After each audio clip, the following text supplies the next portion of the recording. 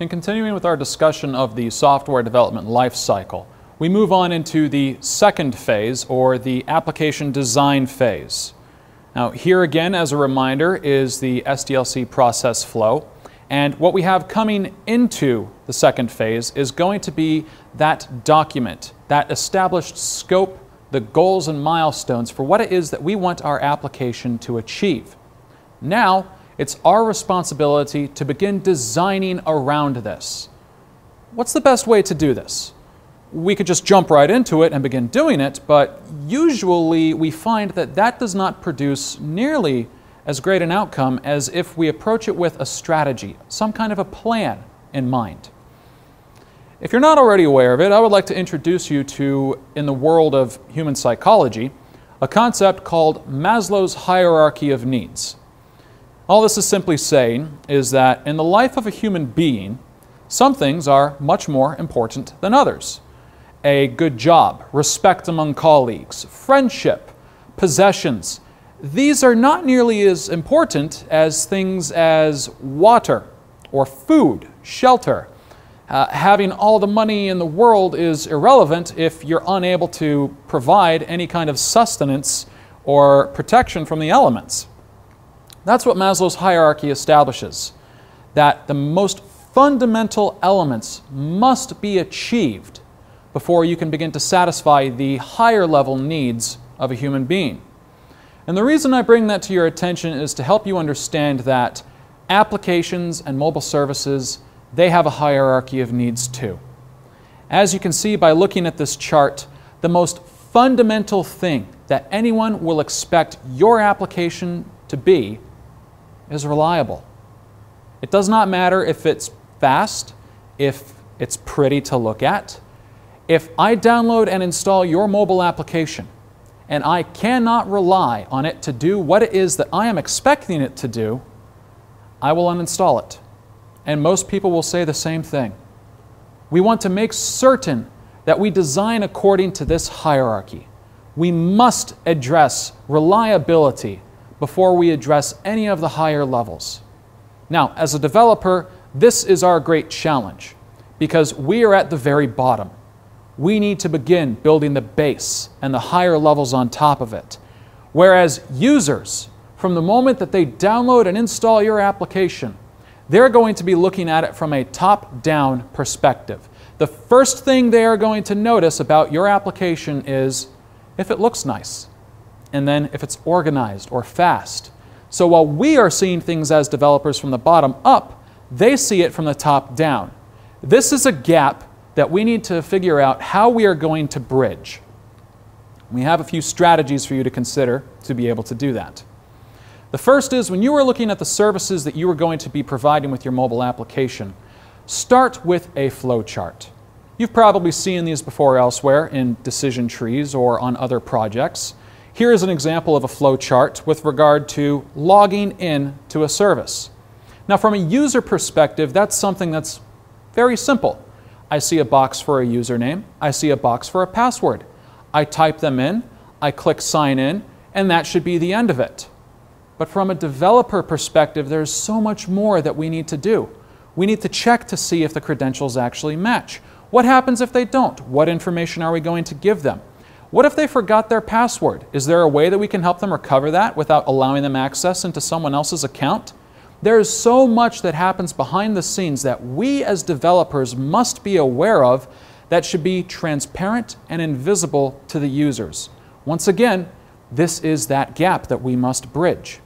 So starting with this flowchart of understanding how each different step in your process will be executed and where to go depending on the outcome, is going to help you understand how you are going to start structuring your actual application. Once you have the structure and the flow of your process defined, move on to something called wireframe mockups. These are much in application design, the same thing that you find in the movie industry when prior to filming a movie or television show, Everyone gets together in a room and with very rough drawings of a scene, they will put them up on a wall and people will look at them and it helps to establish okay, This is where the actors will be. This is how they will stand. This is how the camera will shoot it at this angle. This helps you to define what the scene is going to look like before you actually film it. The benefit of this is if you don't like the way one scene looks, it's very easy to just draw some other quick sketches to replace them instead of having to do the filming all over again. It's faster and it saves money. And it's the same with developing your application. Doing these wireframe mockups, these are the storyboards for your application to help you design what it is going to look like. And we have a few design suggestions for you to keep in mind as you build these mockups. Understand that from a user perspective, there are certain things that we as users expect and certain things that we don't even think about, but when we need them, if we see them, we're glad they're there. We'll go through them. The first is text input. Now, if you have a look at the diagram on the left, this is very common to what you would see with forms on a non-mobile website in the very early days of the internet. This is not going to work on a mobile device, especially with a smaller screen size and limited input. By unifying them into a column where they are stacked on top of each other, the most common motion a user makes when they are holding their phone is a swipe. That swipe allows them to easily go from one text box to the next without having to click all over the screen to type in their data. Something else to keep in mind is, yes, the size of the buttons that you're going to use in your application. Not many people realize that this is actually an important issue. If your button is too small for the average finger to touch, it's going to be very difficult to interact with your application. Keep in mind this information that was produced by a study from the Massachusetts Institute of Technology. The average human finger is going to be somewhere in the area of about 57 pixels wide. Keep that in mind when you are designing your application. Also keep in mind your button layout.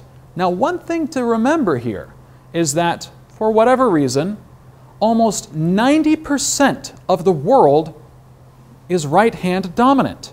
This is more often than not the hand that people will be using to hold and interact with their phone.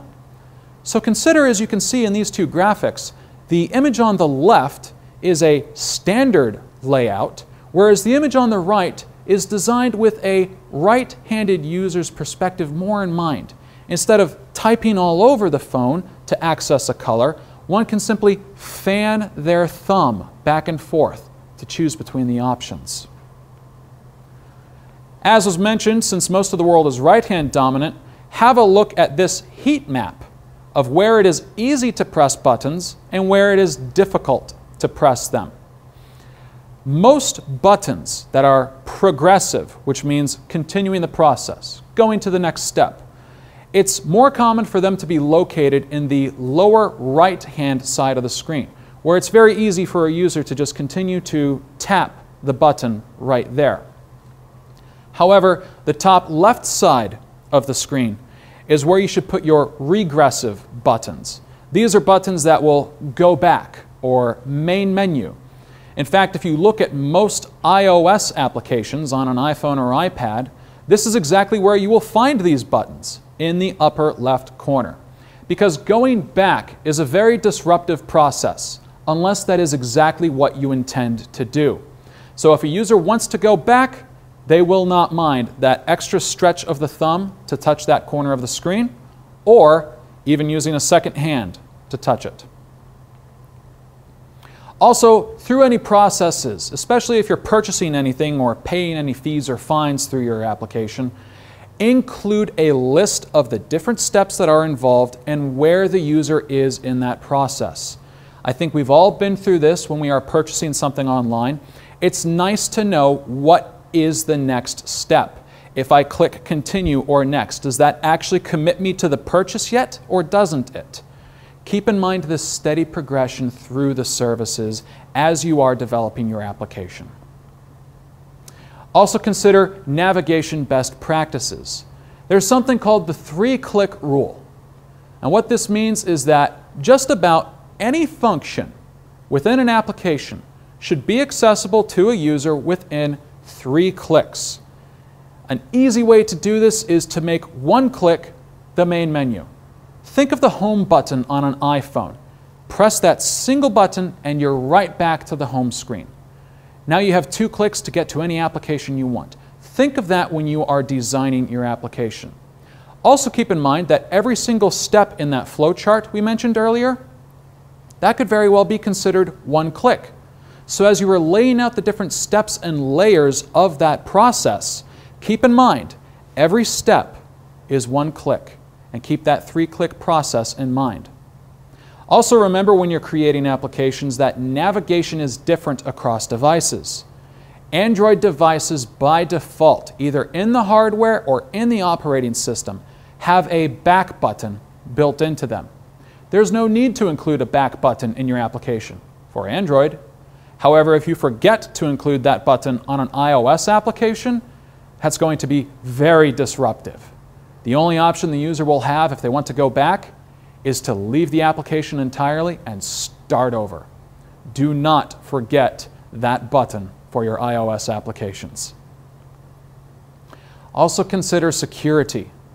Now, best security practice is to make it transparent to the user. It's there, it's protecting them, but it should never interfere with what they are doing. Still, if someone is going to type in a credit card number, they're a little hesitant about sending that information. They want some kind of reassurance that the information they are sending is actually going to be protected. Usually the best way to reassure a user with this is to provide some kind of statement or some kind of logo from a trusted security provider that your information is protected and maybe even a small statement of how we are protecting it uh, using SSL, encryption. However you choose to provide it, do include some kind of picture or statement that reassures the users their sensitive data is going to be protected. Also, don't recreate services. I think we've all seen this at one point or another. You can create an account on a website, or you can log in with Facebook or log in with Google. Why create an account on another website if I can just use my account from one of those two instead? Well, if you can find a way to integrate something like that into your service, you save the user from having to create a totally separate account for them to be able to use your mobile application. But is Facebook and Google really the best option to use for a government service? The good news is here in the UAE, the Emirates ID Authority is working to provide this kind of single sign-on capability to all government entities and all of their mobile services. So keep an eye on them. Keep an eye on their progress for that service, and when it does become available, be sure you work to integrate it into your service. Also implement one-click calling. And to explain what this is, as a user, your mobile application is your organization interfacing with me. If I am having problems with your mobile application, I might get frustrated to the point where I just give up on it and I want to call your organization. How frustrating is it then to then close the application, open a web browser, search for your organization, search around your website, find a mobile number, and then type it in and call. Whereas, if you included a function in your mobile application that I press the button and suddenly it's dialing that number, right away, that does make me feel better. Because even though I did have some problems using your mobile application, it was just one click and I'm connecting with a human being who can help me work through my uh, process. Also, remember, GPS sensors exist in mobile devices. So if you're going to provide any kind of service that would in any way need or use a user's location, don't forget to integrate into that. If I'm going to call for a taxi, why should I have a mobile application that describes where to pick me up when instead it could just grab my GPS coordinates and a taxi can come to exactly where I am. If you're not providing taxi services, one other thing to keep in mind is if I do need to go visit your entity in person, what's the closest branch? Where is it? How do I get there? The easiest thing to do is grab the user's GPS coordinates, plug it into a map API, and provide that information back to them. Finally, don't forget to account for screen size and resolution. Across many different devices, especially Android, where there are so many different types out there, but also within iPhone, you will find different screen sizes and resolutions. Consider how the iPhone screen size has changed from the pre-iPhone 5 line of devices to the iPhone 5 and now on into the iPhone 6 and 6 Plus. Also remember that with iPads, you can have the exact same screen size but different resolutions because one may be a retina display, one may not be. Keep these differences in mind when you are designing your application because, as you can see on this slide, what may look great on one device ends up looking completely different on another.